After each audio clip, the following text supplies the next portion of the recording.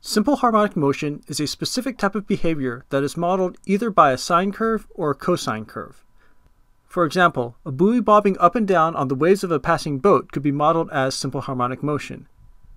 We could also try to model the rise and fall of temperature over the course of the day as simple harmonic motion. But the most common picture of simple harmonic motion is the vibration of a mass attached to the end of a spring. These spring mass systems are extremely common in the study of physics. We will start with a picture of the system at rest. You can imagine that we just left it untouched for a long period of time. The current height is known as the equilibrium position of the mass. This is where the force of the spring pulling up is exactly equal to the force of gravity pulling down.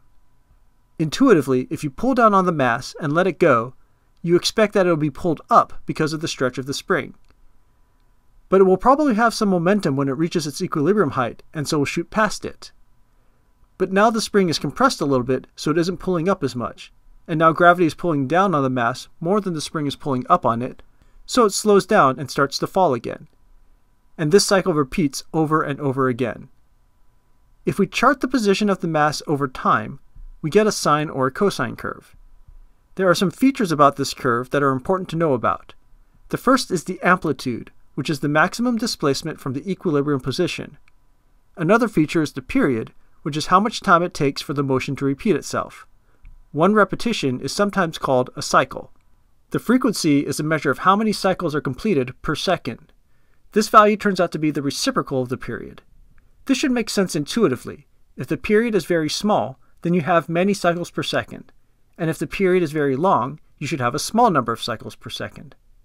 The simplest mathematical models for simple harmonic motion are y equals a sine omega t and y equals a cosine omega t, where omega is a positive number.